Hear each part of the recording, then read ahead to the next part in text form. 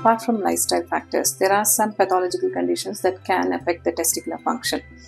A principal among them is diabetes, and undiagnosed diabetes and uncontrolled diabetes is a very common cause of borderline abnormalities in the semen parameters.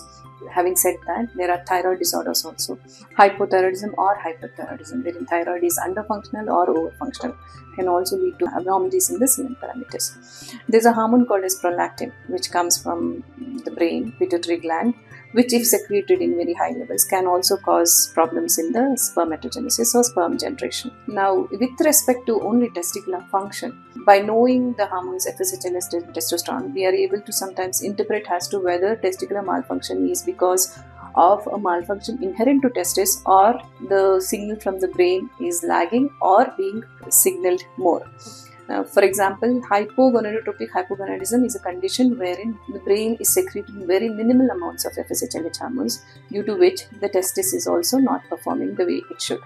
And there is a condition called as hypergonadotropic hypogonadism, wherein the testis itself is failing for some reason, and there is a very high level of these hormones called as FSH. These tests help us understand where exactly the cause is for an abnormal semen parameter. But it is also important to know that only in about 20% of the cases, 10 to 20% of the cases, we are able to pinpoint and say that this is the reason why the abnormality exists. Majority of the time, it is not exactly known as to why the sperm parameters are abnormal.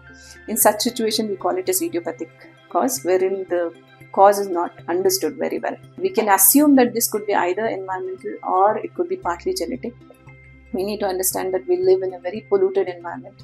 There is overuse of mobiles, and due to which there is Wi Fi radiations all around us all the time, 24 by 7. We also need to understand there are a lot of environmental toxins which have an effect on our reproductive function. So, it's very important to be aware of our surroundings and minimize the exposure to these toxins so that we have a good potential with respect to the eggs in women and sperms in men.